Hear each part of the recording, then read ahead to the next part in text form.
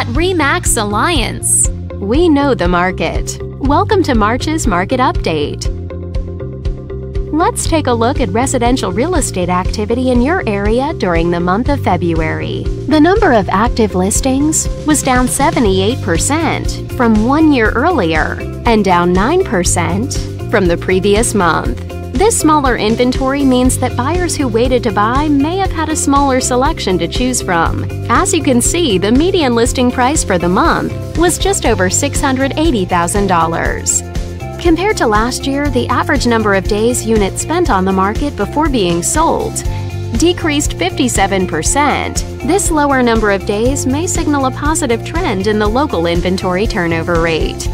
The median sale price was $550,000. The number of units sold increased 2% year over year and increased 36% month over month. These figures may indicate that buyers have been taking advantage of opportunities in this market.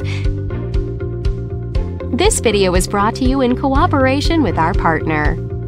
Thanks for watching. We hope you found this video helpful as you gather more information to make smart, informed real estate decisions. If you'd like more information or assistance, please click the button on the screen.